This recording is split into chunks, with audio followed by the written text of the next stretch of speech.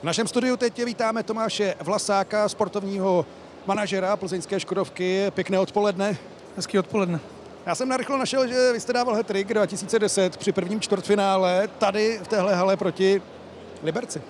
Jo, jo, je to pravda, už je to pravěk trošku a myslím, že jsme tu sérii potom stejně prohráli, takže je to 2-4. Jan Eberl dal hat-trick, jak se tady vypisují za hat-tricky do no, tak já, určitě pokladník náš uh, Lukáš Kulpá něco vypíše a myslím si, že to bude v řádech tisíců určitě. Uvidíme tedy, jak to dopadne. Každopádně, vy jste už pátým rokem v téhle pozici. Už se cítíte opravdu víc jako do kanceláře než hokejista? Tak to ne, samozřejmě eh, mě to baví, naplňuje, že jsem u toho, co jsem dělal celý život a, a baví mě to, to mužstvo dávat dohromady společně s Martinem a, a samozřejmě eh, si přejeme, aby to každý rok fungovalo. Jak jste zatím spokojeni se sezónou? Máme za sebou čtvrtinu, což je sice na jednu stranu malý vzorek, ale je to čtvrtina základní části. Máte odehráno jen 11 zápasů, 19 bodů těsně po čestkou. Tak samozřejmě, my jsme v té šestce se chtěli udržet samozřejmě co, co nejdíle až do konce, ale jak jste říkal, je to, je to začátek, samozřejmě něco to ukazuje. Myslím si, že ty výkony máme trošičku nevyrovnaný a pro nás dost důležitý ten, ten, tenhle víkend vlastně dneska a zítra.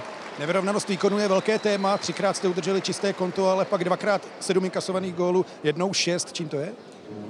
Těžko říct, zašlo to vlastně na Spartě, kde, kde jsme 3-1 vedli a ten zápas jsme rychle, rychle pustili uh, Spartě. Naštěstí jsme se pak uh, vrátili aspoň za bod, ale, ale myslím si, že v těch klukách to zanechalo trošičku někde v hlavě.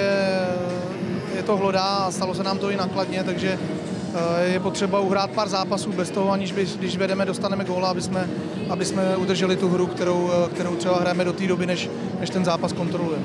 Na opačné straně je ale Milan Gulaš, který v tom zápase na Spartě otevřel svůj účet, svoji střelnici. Jaké je to mít, mít ho pod sebou v týmu, jako pro sportovního manažera?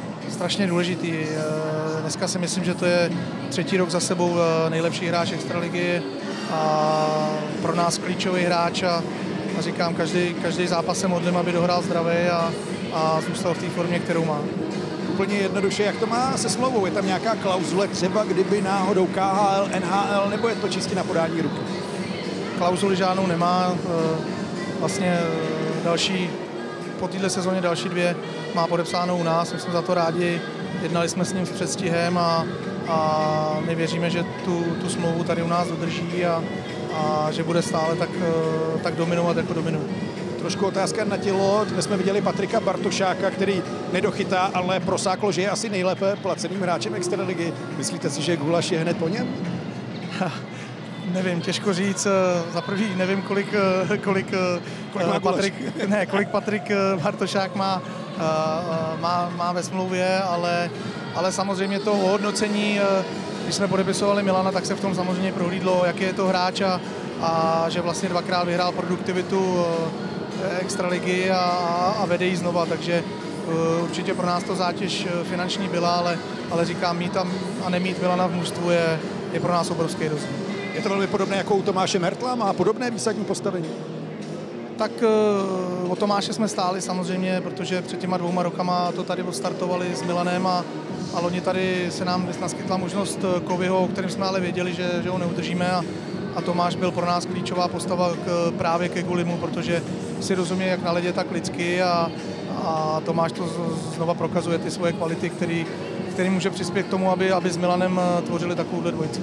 Jaké je to vlastně řídit klub nebo tým, když máte dvě velké osobnosti a pak válečníky, bojovníky, protože tihle dva, to si asi přiznejme, vyčnívají vyčnívají a tak to v sportě je. Když se podíváte do NHL, tak eh, já dám příklad Chicago Kane eh, a bez Kanea je taky bude jiný, bude jiný tým, takže pro nás klíčové osobnosti a samozřejmě jsme rádi, že třeba loni se nám povedla Lajna, která dneska třeba dala tři góly a věříme, že se do toho svého tempa, který měli v loňské sezóně, zase vrátí a pomůžou tomu, protože vždycky se musí najít někdo, kde zákonitě těmhle dvou to třeba nepůjde celou sezónu, tak musí vystoupit prostě někdo jiný a, a, a vzít to v pár zápasech na sebe. No.